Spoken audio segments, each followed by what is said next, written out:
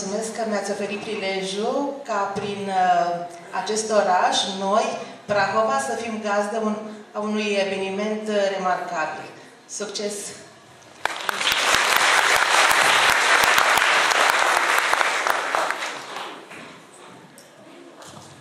Uh, Permiteți-mi ca înainte să prezint primul număr să fac un mic anunț. Vreau să dedic acest festival unui elev care nu mai este dintre noi, este vorba de Pârgu Andrei și colega mea Zoe Martin. Vă rog să aplaudăm. Ai început.